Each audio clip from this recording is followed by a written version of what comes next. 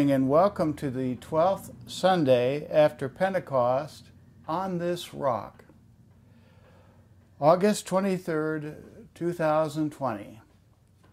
Blessed be God, Father, Son, and Holy Spirit, and, And blessed, blessed be his kingdom, now, and forever. Amen. Lord, open our lips.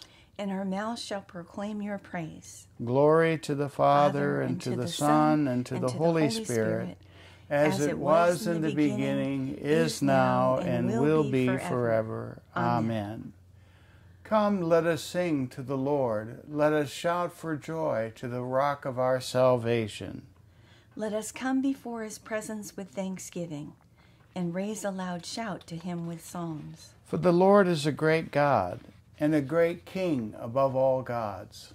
In his hand are all the caverns of the earth, and the heights of the hills are his also.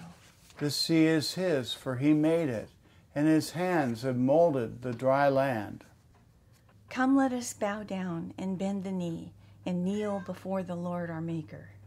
For he is our God, and we are the people of his pasture and the sheep of his hand. Oh, that today would hearken to his voice. The first reading. A reading from Isaiah chapter 51, verses 1 through 6. Listen to me, you that pursue righteousness, you that seek the Lord. Look to the rock from which you were hewn, and to the quarry from which you were dug. Look to Abraham your father, and to Sarah who bore you. For he was but one when I called him, but I blessed him and made him many. For the Lord will comfort Zion he will comfort all her waste places and will make her wilderness like Eden, her desert like the garden of the Lord. Joy and gladness will be found in her, thanksgiving and the voice of song. Listen to me, my people, and give heed to me, my nation.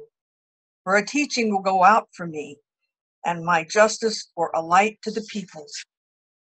I will bring near my deliverance swiftly. My salvation has gone out, and my arms will rule the peoples.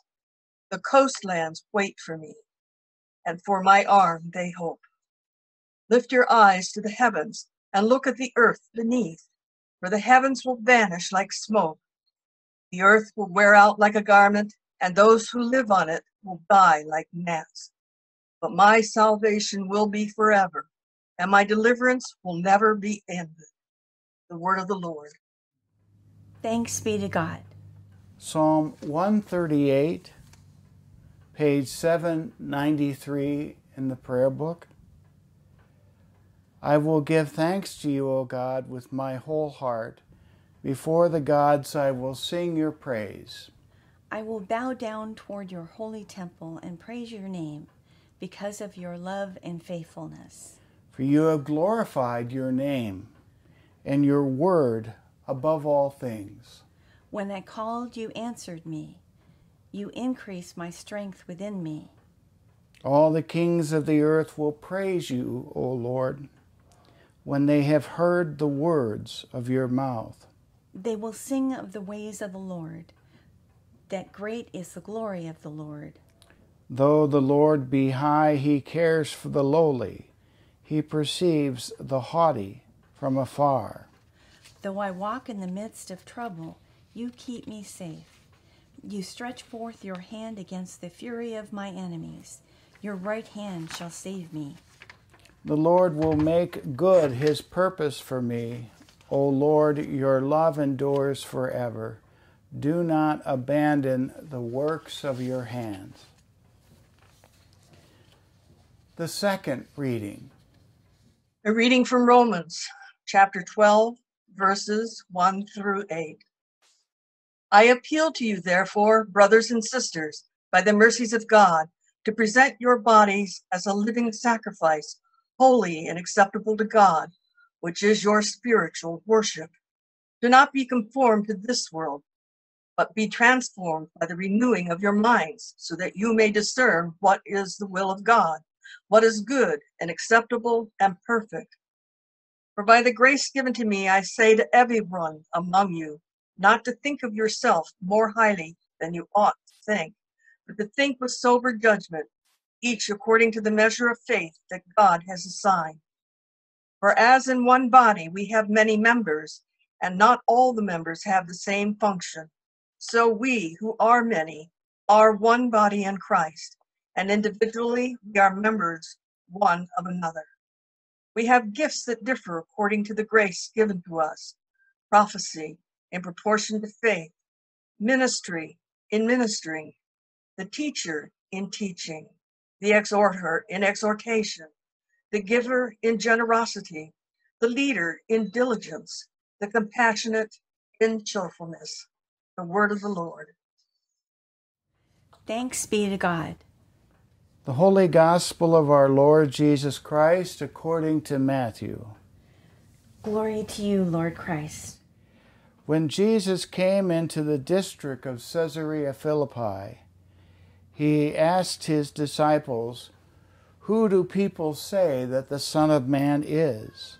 And they said, Some say John the Baptist, others Elijah, and still others Jeremiah or one of the prophets. He said to them, But who do you say that I am? Simon Peter answered, You are the Messiah, the Son of the living God. And Jesus answered him, Blessed are you, Simon, son of Jonah, for flesh and blood has not revealed this to you, but my Father in heaven.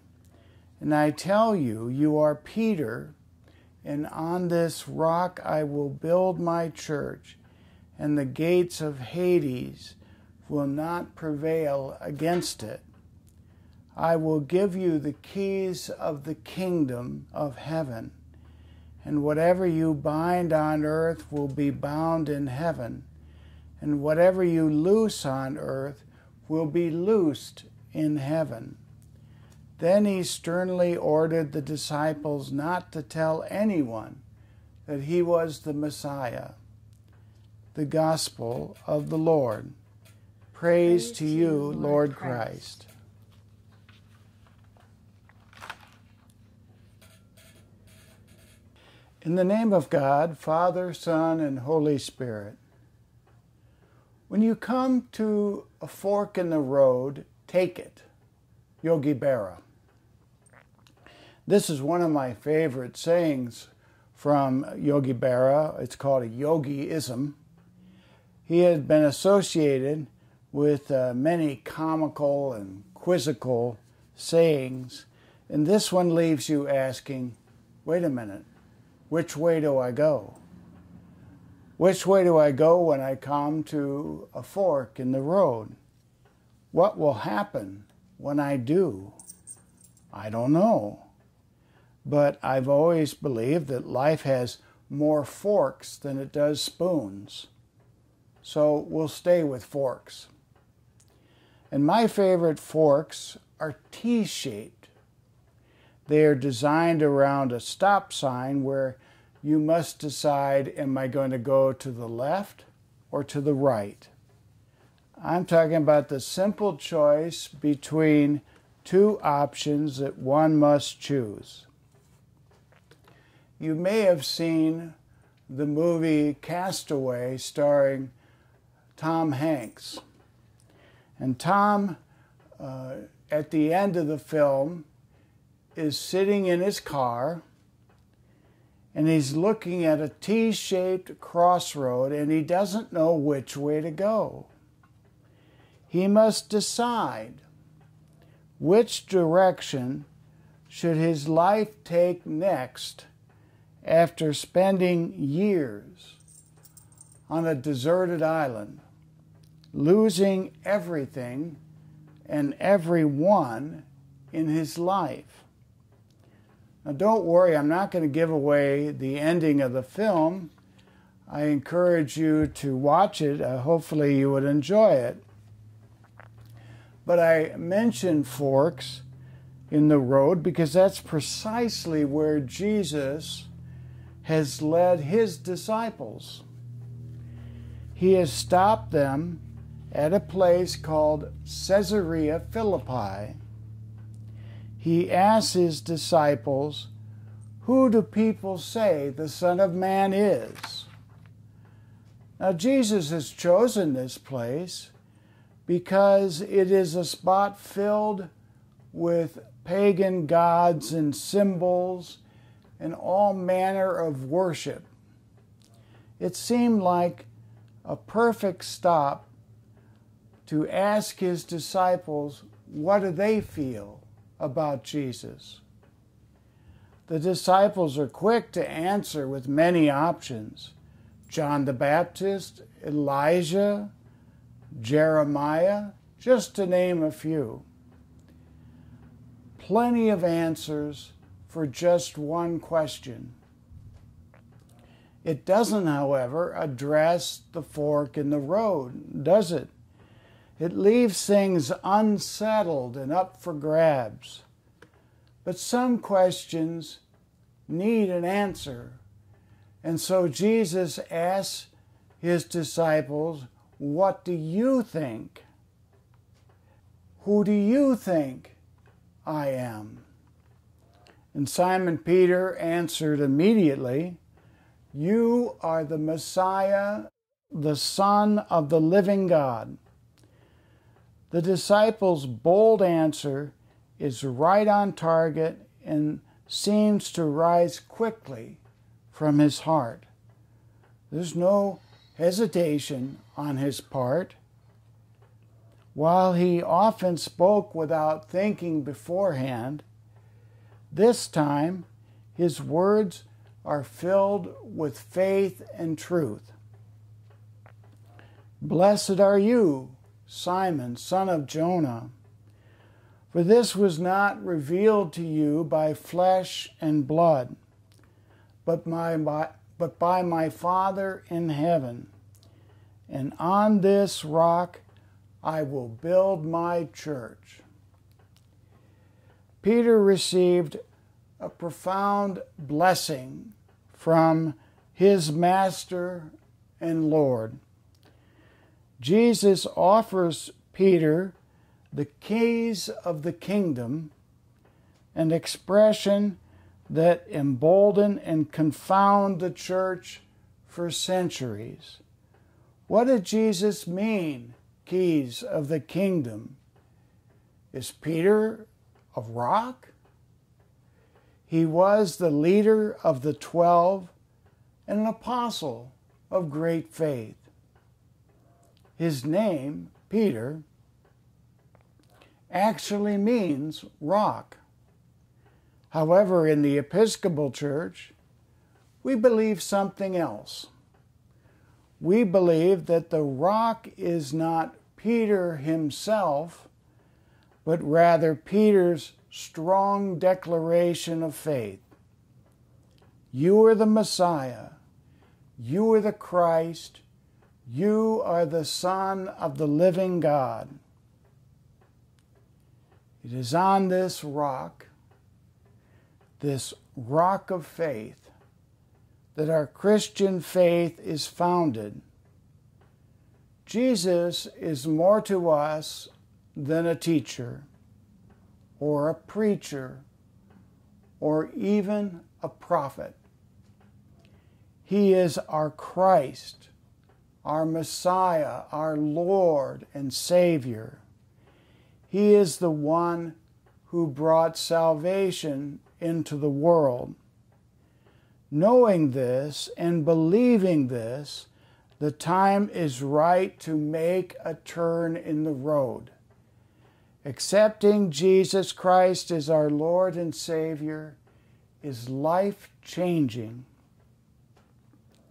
Once the disciples made that decision, they would not be able to walk the same road in the same way. They must face that their lives and their preaching will be different. Perhaps it is time for each one of us listening today to do the same change our hearts and walk a different road with the Son of the living God. In the name of God, Father, Son, and Holy Spirit. Amen. And now our hymn for today is hymn 558 from the 1982 hymnal, Faith of Our Fathers.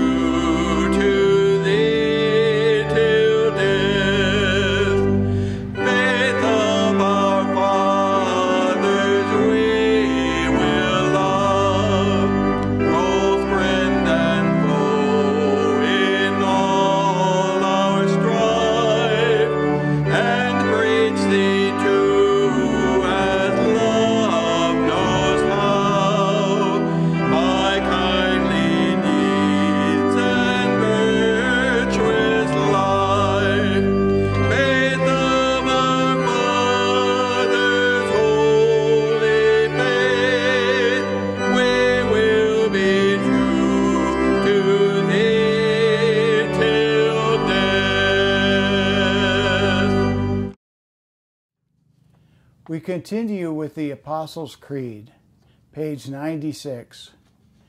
I believe in God, the, the Father, Father Almighty, creator of heaven and earth. I believe in Jesus Christ, his only Son, our Lord. He was conceived by the power of the Holy Spirit and born of the Virgin Mary. He suffered under Pontius Pilate, was crucified, died, and was buried. He descended to the dead. On the third day he rose again. He ascended into heaven and is seated at the right hand of the Father.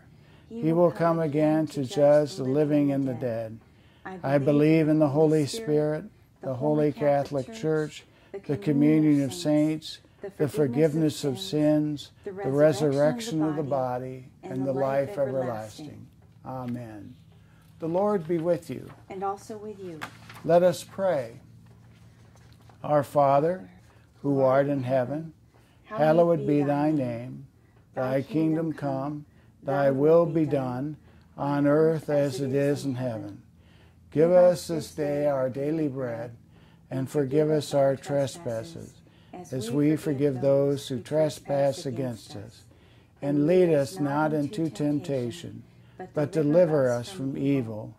For thine is the kingdom, and the power, and the glory forever and ever. Amen. Suffrages B. Save your people, Lord, and bless your inheritance. Govern and uphold them now and always. Day by day we bless you. We praise your name forever. Lord, keep us from all sin today. Have mercy upon us, Lord, have mercy. Lord, show us your love and mercy. For we put our trust in you. In you, Lord, is our hope. And we shall never hope in vain. Grant, O merciful God, that your church, being gathered together in unity of your Holy Spirit, may show forth your power among all people to the glory of your name through Jesus Christ our Lord, who lives and reigns with you in the Holy Spirit, one God, forever and ever. Amen. Amen. O God, you make us glad with the weekly remembrance of the glorious resurrection of your Son, our Lord. Give us this day such blessing through our worship of you, that the week to come may be spent in your favor. Through Jesus Christ our Lord. Amen. Amen. The Coronavirus Litany. And after each petition, I will say, Let us pray to the Lord. And the response is, Lord, hear our prayer. Jesus Christ, at your command, the sick were made well.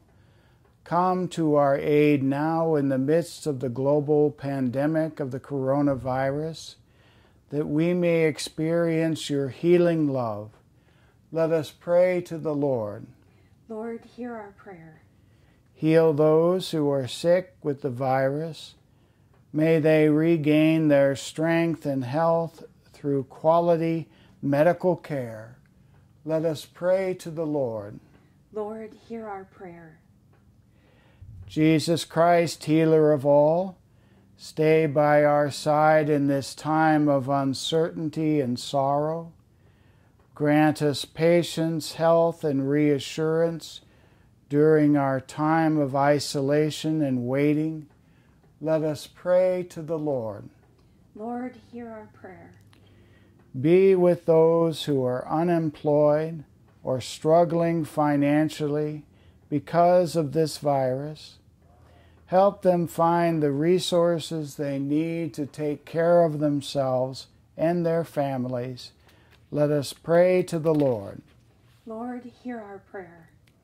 Be with the doctors, nurses, researchers, and all medical professionals who seek to heal and help those affected and who put themselves at risk, may they know your protection.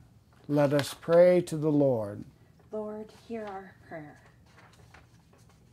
Be with our local, state, national, and world leaders. Give them the foresight to act with charity and true concern for the well being of all they are meant to serve. Let us pray to the Lord. Lord, hear our prayer.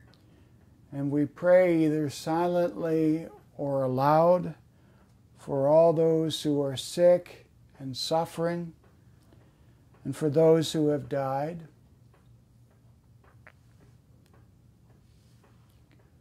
We offer our thanksgiving and any special prayers that we may have.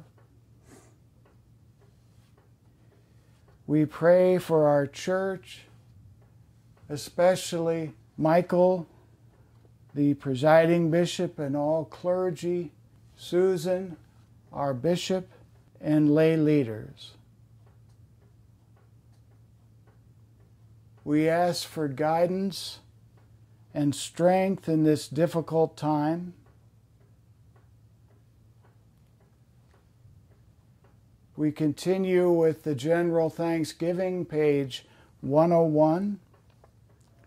Almighty God, Father of all mercies, we, your unworthy servants, give you humble thanks for all your goodness and loving kindness to us and to all whom you have made. We bless you for our creation, preservation, and all the blessings of this life but above all for your immeasurable love in the redemption of the world by our Lord Jesus Christ, for the means of grace and for the hope of glory.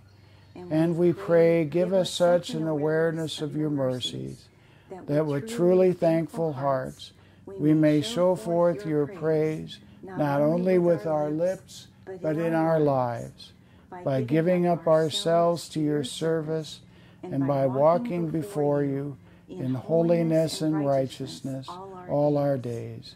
Through Jesus Christ our Lord, to whom with you and the Holy Spirit be honor and glory throughout all ages. Amen. Prayer of St. Chrysostom. Almighty God, you have given us grace at this time with one accord to make our common supplications to you, and you have promised through your well beloved Son that when two or three are gathered together in his name, you will be in the midst of them. Fulfill now, O Lord, our desires and petitions as may be best for us, granting us in this world a knowledge of your truth, and in the age to come, life everlasting. Amen. Let us bless the Lord. Alleluia, alleluia. Thanks be to God. Alleluia, alleluia.